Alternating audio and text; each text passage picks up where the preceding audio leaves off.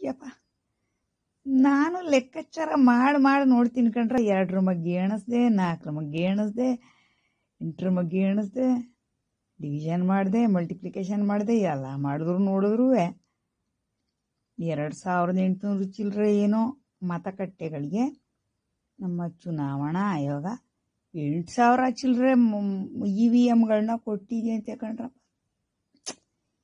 ಅಲ್ಲಿಗೆ ಎಕ್ಸಿಕ್ಯೂಟ್ ಆಗೋ ಬರೀ ಎರಡು ಸಾವಿರ ಚಿಲ್ಲರೆ ಇದ್ದರೆ ನಾಲ್ಕು ಪಟ್ಟು ಹೆಚ್ಚು ಮಾಡಿ ಅಡಿಷನಲ್ ಅಂದರೆ ಹೆಚ್ಚುವರಿ. ಹಾಂ. ಹೆಚ್ಚುವರಿ E V M E V ಎಮ್ಗಳನ್ನ supply ಮಾಡಿದರೆ ಹಾಸನ ತಾಲೂಕಿಗೆ ಅಂದರೆ ಇವರು ಇ ವಿ ಎಮ್ಗಳು ನ್ಯಾಯನೀತಿಲಿ ಕೆಲಸ ಮಾಡ್ತವೆ ಅನ್ನೋದು ಇವ್ರಿಗೆ ಗ್ಯಾರಂಟಿ ಇಲ್ಲ. ಅಯ್ಯೋ ಅನ್ಯಾಯ. ಹೈದ್ರಾಬಾದಲ್ಲಿ ಕೂತ್ಕೊಂಡು ಏನು ರಿಸರ್ಚ್ ವರ್ಕ್ ಮಾಡ್ತಿದ್ದೀರಪ್ಪ ಇ ವಿ ಎಂ ಮೇಲೆ. ಹಾಂ? ಇ ವಿ ಎಂ ನೆಟ್ಟಿಗೆ ಕೆಲಸ ಮಾಡ್ತವೆ. ಅವನ ಅದರ ಬದಲು ಮಾಡೋಕ್ಕೆ ವ್ಯವಸ್ಥೆ ಅಂತೂ ಆಗುತ್ತೆ.